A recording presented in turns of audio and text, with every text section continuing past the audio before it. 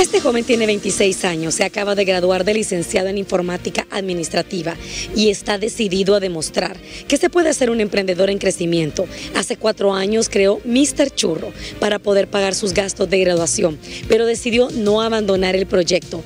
Para el año 2020, en medio de la pandemia, comenzó a crecer, pero las inundaciones en la ciudad de La Lima hicieron que cerrara. Tomó un tiempo volver, pero lo ha hecho con más fuerza. Todo inició desde una idea de, amigos en la universidad, estamos pronto a salir.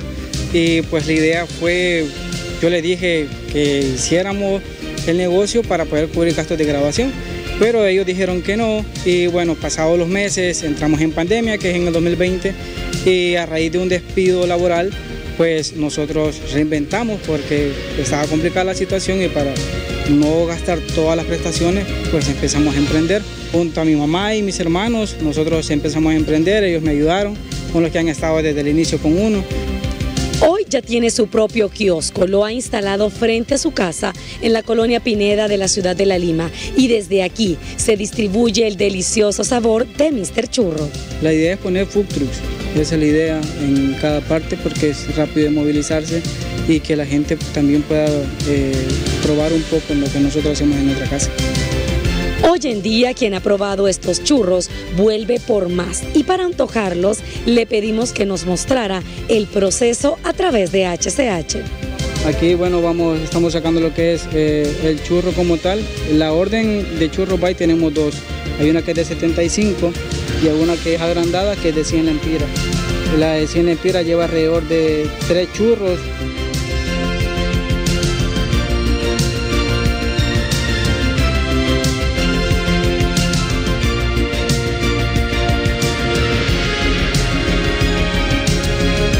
listos y llegó el momento de hacer la entrega. Para ahorrar costos, él mismo hace la repartición a bordo de su bicicleta.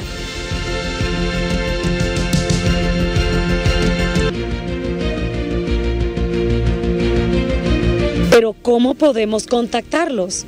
Pues atendíamos sábado y domingo, los sábados a partir de las 3 hasta las 9 de la noche y los domingos a partir de las 2 de la tarde a 9 de la noche. Nosotros tenemos la página en Facebook y Instagram como Mr. Churro 504.